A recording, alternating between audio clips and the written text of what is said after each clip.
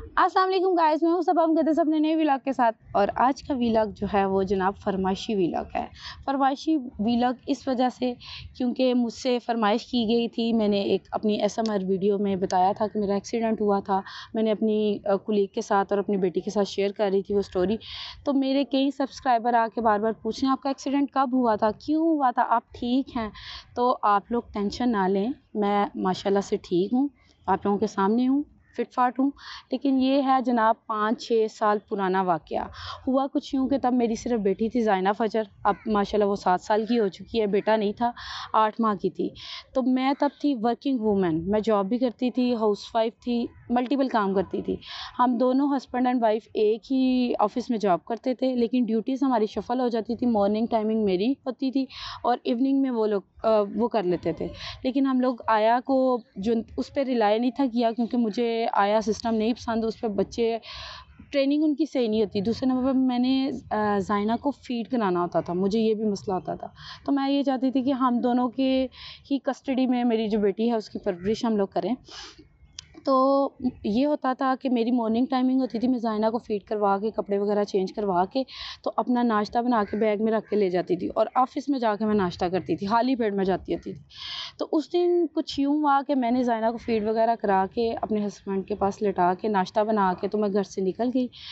Office जो था वो तो वॉकिंग डिस्टेंस पे था, सिर्फ़ पाँच मिनट लगते थे वहाँ पे। लेकिन उसके दरमियान में दो रोड्स थे जो कि मैसी होते थे और मुझे वो क्रॉस करने होते थे। और सुबह की टाइमिंग थी मेरी एट टू फोर और आपको पता है at at eight A M clock जो है, वो होता है स्कूल टाइमिंग ऑफ़िस टाइमिंग तो वो रोड जो था, वो बहुत ज़्यादा मैसी था।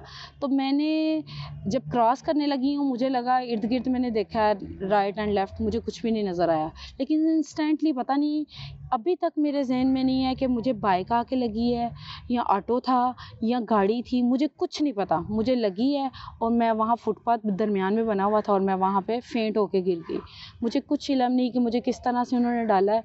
और लकीली हॉस्पिटल भी वहाँ, यहाँ का बहुत मशहूर हॉस्पिटल है गंगाराम। वहाँ एमरजेंसी में मुझे ले जाया गया। और मेरे सारा फेस जो है, वो फुल ऑफ़ ब्लड था। ये देखें, यहाँ पे भी स्टिचेस एक स्टिच मुझे यहाँ लगा था, दो अंदर लगे थे, एक यहाँ पे लगा था और सात स्टिचेस जो हैं, अगर कैमरा क्लोज है तो मैं आप लोगों को दिखा दूँ, ये सात स्टिचेस हैं, अभी भी निशान है।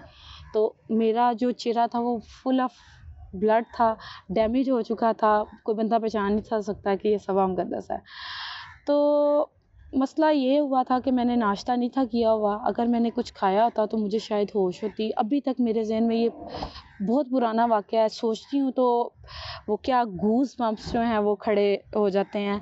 वो जब वाक़ जहन में आता है तो फिर जब मुझे वहाँ पे ले जाया गया और ड्राइवर ने मेरे से पूछा, मैंने बेहोशी की आलम में ही फटाफट अपने हस्बैंड का नंबर बताया और उन्होंने कॉल की। मेरे हस्बैंड, ज़ाहिर सी बात है वो सोए हुए थे, बेटी भी सोई हुई थी। फटाफट उन्होंने बेटी को पकड़ा और हॉस्पिटल आ गए। मेरे, मैंने कुछ नहीं था खाया हुआ। उन लोगों ने मुझे ग्लूकोज वगैरह की बोतल लगाई। फिर जब मैं होश में आई, मैंने इन लोगों को देखा तो मैंने कहा, आज ईद है।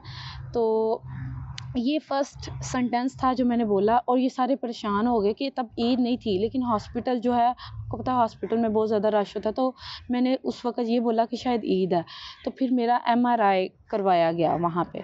जो सर्जन हैं, उन्होंने चेकअप किया, उन्होंने कहा कि एक दफ़ा कर लें टेस्ट कर लें। हमें पता चले कि इनकी कोई यादाश्त मेमोरी को तो कुछ नहीं हुआ।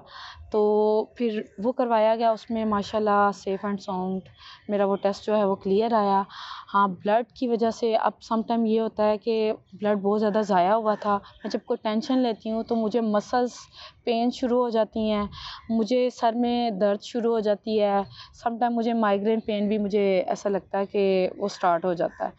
लेकिन चूँकि मैंने ऑफ़िस में कंप्यूटर वर्क करना होता था और वो आँखों का ही, दिमाग का ही काम था तो फिर मैंने अपने हस्बैंड के साथ हम दोनों ने डिसाइड कर लिया कि यार जनाब, अब क्विट करना चाहिए, अब मैं जायना को टाइम दूँ। फिर, जायना के पास जहेरा आ गया एक डेढ़ साल बाद तो अब मैं आप, लोगों के सामने हूँ आप लोगों की वीलॉगर अब मैं वीडियोस बना रही हूँ आप लोगों के लिए एस एम आर वीडियोज़ भी और वीलॉगिंग भी कर रही हूँ।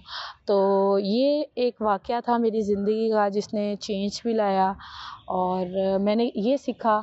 बल्कि आप लोगों को भी यही कहूँगी कि जब भी आप किसी भी काम के लिए आप लोग जाएँ सुबह सुबह टाइमिंग में आप वर्किंग वूमेन है या आप वर्किंग बॉय हैं मैन है वट आप लोग नाश्ता लाजमी करके जाएँ। मैं अपने बच्चों को भी स्कूल जाते हैं। मैंने कभी भी इनको नाश्ते के बगैर नहीं जाने दिया। नाश्ता किया हो तो शायद मेरे साथ वो उस तरह इंसिडेंट ना होता, मैं फेंट ना होती और मुझे एकदम से ये एमरजेंसी ना होती।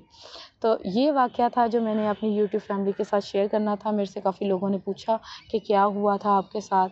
तो ये एक्सीडेंट का वो सारा वाक़ था जो मेरे जहन में आया और इंस्टेंट मैंने कहा, आप लोगों के साथ व्लॉगिंग के ज़रिए शेयर करूँ, आप लोगों के साथ, आप लोगों को बताऊँ। अच्छा जब मेरे से कुछ लोगों ने मेरे सब्सक्राइबर ने पूछा कि आप ठीक हैं एक्सीडेंट आपका हुआ है। तो मुझे बड़ा इस तरह से फीलिंग आई कि मेरे मेरी यूट्यूब फैमिली जो है वो मेरे बारे में इतना टची है, इतना केयर इतनी रिस्पेक्ट इतना लव मुझे सिर्फ़ अपनी फैमिली से नहीं भी इस फैमिली से भी मिलता है। तो फिर मेरा दिल किया कि मैं अपनी इस यूट्यूब फैमिली का शुक्रिया अदा करूँ इतना प्यार, इतनी केयर करने का कि आप लोग अपनी वीलागर को इतना ज़्यादा प्यार देते हैं रिस्पेक्ट देते हैं केयर करते हैं, हर बात पूछते हैं। तो आप लोगों का बहुत शुक्रिया, आप लोगों की नेक तमन्नाओं का। आपकी वीलॉग जनाब, आप लोगों का तहे दिल से शुक्रिया अदा करती हैं। अनटिल द नेक्स्ट वीडियो मुझे इजाज़त दीजिएगा सबा मुकदस को। बाय बाय अल्लाह हाफिज़